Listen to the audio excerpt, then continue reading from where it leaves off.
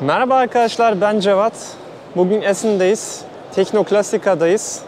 Bayağı aslında böyle klasik arabaların olduğu bir fuardayız ama bizim nesile ve özellikle böyle young timer, E36, E46 o döneme de kayan arabaları bugün göreceğiz bu fuarda. Yani sadece bu savaş dönemine ait arabalar yok. Şu anda aslında Mercedes standındayım. Bayağı güzel arabalar var. Uzun uzun bir video olacak aslında bölmeyi de düşünüyorum ondan. Çünkü yoksa 2 saatlik bir bölüm olacak. Bu da sıkar büyük ihtimalle sizi. Günlere ayıracağım. İlk haleyle başlayalım. 2 8 tane hale var yani 8 bölüme ayırmışlar. Şu an Mercedes'in standındayız. Ve böyle bir canavar bizi karşılıyor burada. Herhalde her petroletin top 10 listesinde vardır diye düşünüyorum. CLK, GTR, Roadster.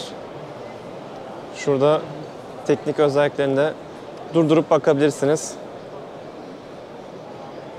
Makine ateş ediyor.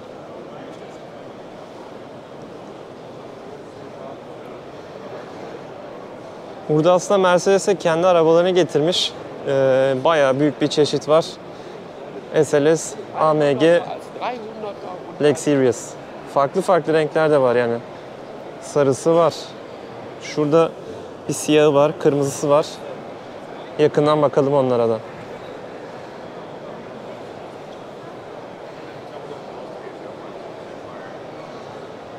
Mesela burada benim sevdiğim kombinlerden biri var. All black, jant, iç, dış komple siyah. Fiyatını da merak edeceksinizdir. 1 milyon euroya yaklaşık bir fiyatı var. Güzel para.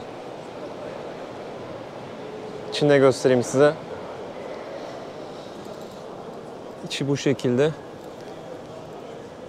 Araç direkt Mercedes tarafından satılık bu arada. Yani galeri falan yok. Bir tane yetmez dersek de burada bir tane daha var. Burada SLS GT var. Onun da fiyatını göstereyim size.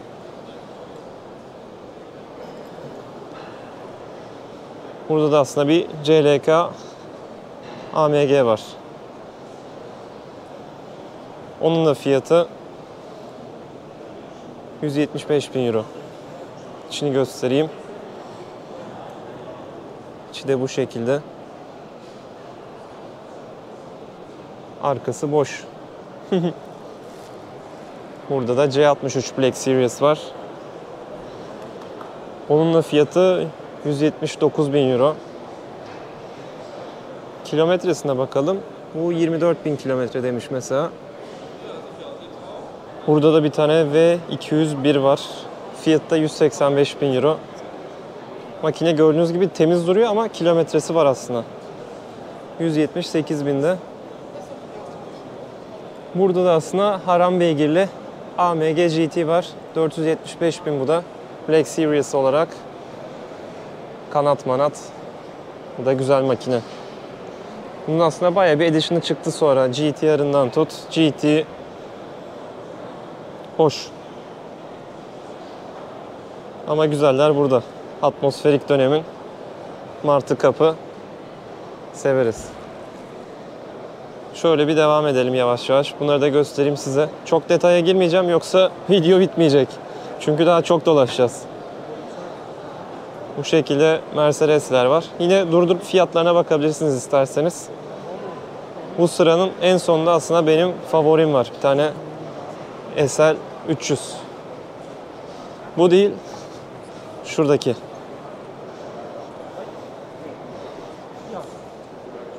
Çok iyi bence.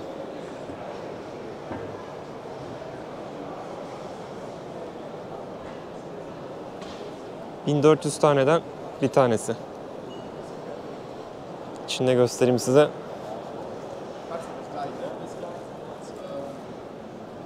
Harbiden çok güzel restore edilmiş. Şu motoru da size göstermeden geçmeyeyim. V12 motor.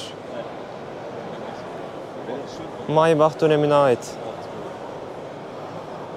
Şöyle şurada da özellikleri yazıyor. 550 beygir.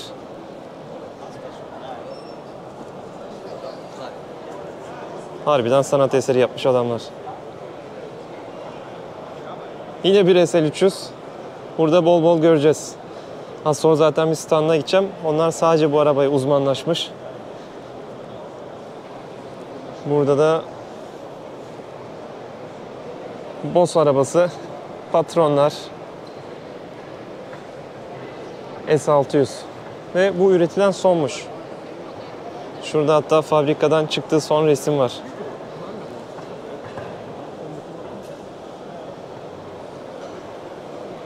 Bunlar tabii Mercedes'in kendi arabaları. Onun için kondisyonları hakkında konuşmamıza gerek yok. Şöyle devam edelim. Burada yine bir yarışa katılmış bir araba var. Şurada bilgileri var. Bakalım hemen.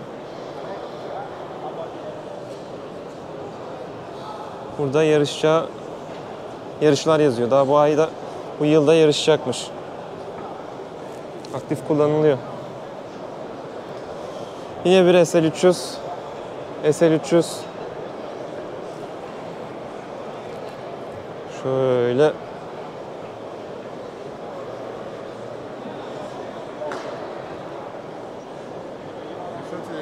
2-3 motor. 300 beygir. Kumak isterseniz şurada da şeyleri var.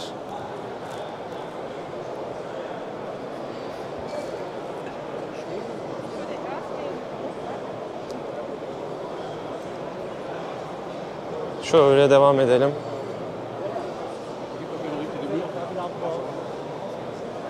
Station wagon. C43 şu şekilde o zaman fiyatını yazmışlar neler varmış diye yazmışlar yani. Burada bir gözümüz kanadı. Komple kromlamışlar. Ein Einschlag weniger als 10 Meter. Ama Nered'in tabi bunun elektrikli olması 751 beygir 1000 tork 60 kW bir pili var. Aslında dönemimize göre bakarsak çok da büyük bir pil değil. Şu şekilde. içini göstereyim. Şöyle dönelim. Devam edelim. Dediğim gibi daha şu an bölüm 1'deyiz. 8 tane bölüm var. Sterling Moss SLR'ın üstü açık versiyonu ve camsızı. Şöyle motorunu da göstereyim. Yine bir sanat eseri. Devam ediyoruz. BMW'ciler demesin, BMW'lerde gelecek. Yani farklı farklı modelleri de daha göreceğiz bu fuarda. Şöyle yavaş yavaş gösteriyorum ki beraber gezelim.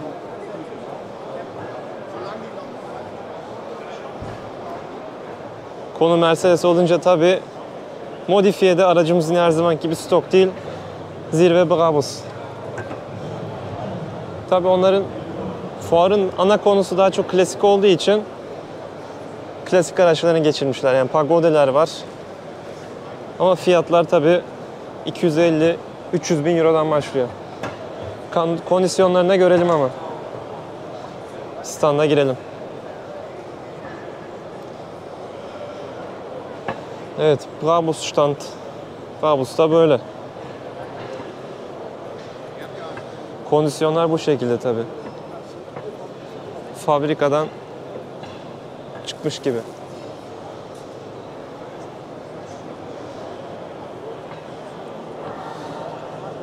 Hani koleksiyonluk yazılan ilanlara inat.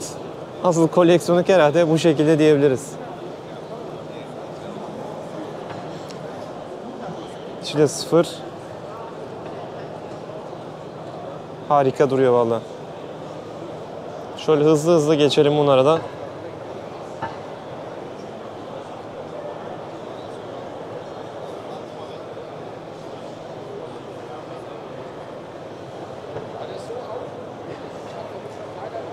Genel olarak bu şekilde. Bir tanesine fiyatına bakalım. Hadi bunun bir fiyatına bakalım ne kadarmış bu da. Şurada yazıyordu.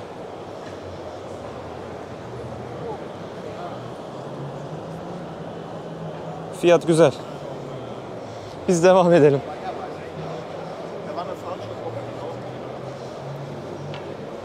Burada yine Mercedes üzerine uzmanlaş- uzmanlaşmış bir stand var. Ve burada artık farklı markaların araçları başlıyor. Yine bir 300 SL. Şöyle buraya da bakalım. Şurada bir tane M1 gördüm.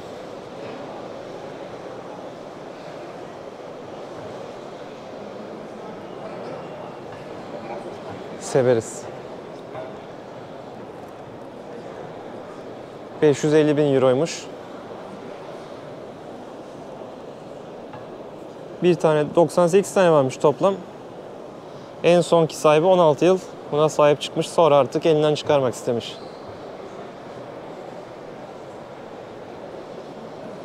Şöyle bu standtan da çıkalım.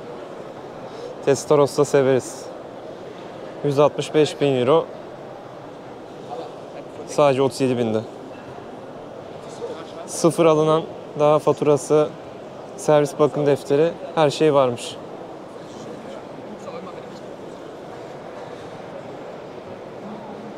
Yine devam edelim. Mercedesçileri sanırım bu videoda doyuracağız. HK Engineering. Bunların da 300 eserlerle aslında bunlar meşhur. Bir de alalım bunların standına da.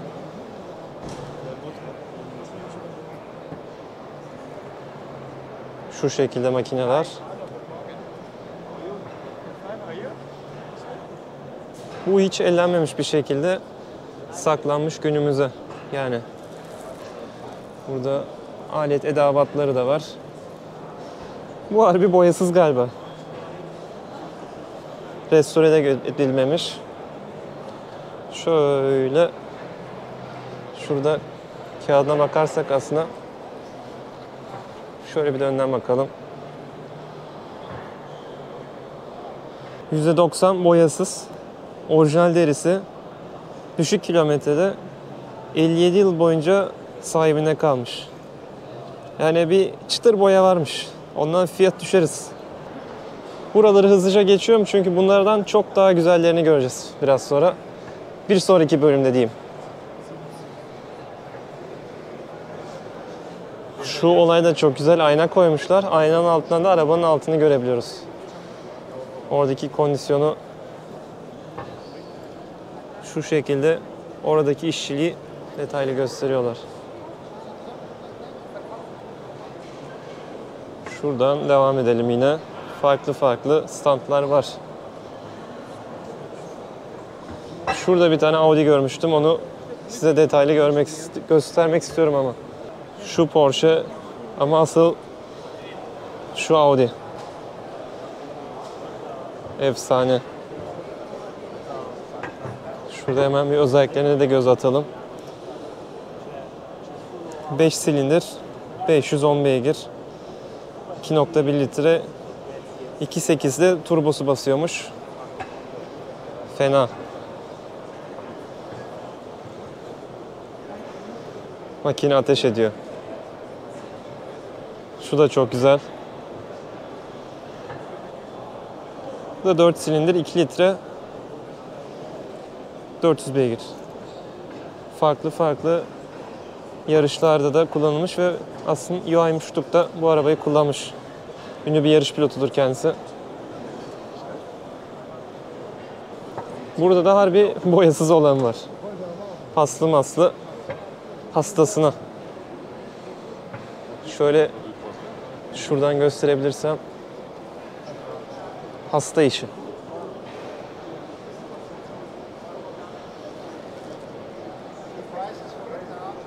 Devam ediyoruz. Buradaki bir Porsche'de göz atalım. Fiyat miyat ne kadarmış? Kondisyon bu şekilde.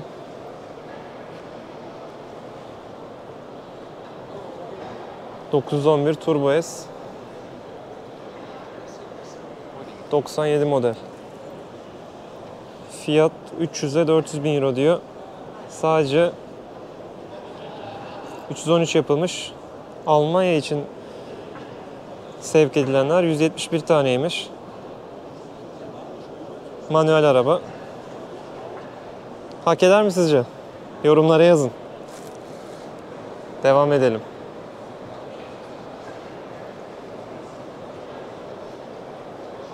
Oh, Testo Mesto da var burada. Testorosa. 185 bin euroymuş bu da.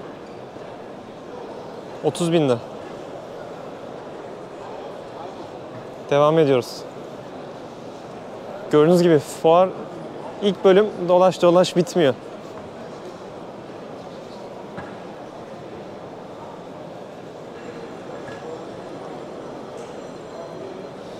Oy oy oy oy. Carrera GT. Ve onun en güzeli diyebiliriz. LFE ile beraber en karizmatiği. Bunlardan da birkaç tane göreceğiz şimdi fuarın devamında. Evet arkadaşlar, birinci aleyi tamamladık. Yaklaşık 20 dakikamızı aldı. Aslında daha da detaylı olurdu. Ama sizi sıkmak istemedim. Yarın ikinci bölüm gelecek. İkinci haleyi gezeceğiz. Yarın görüşürüz.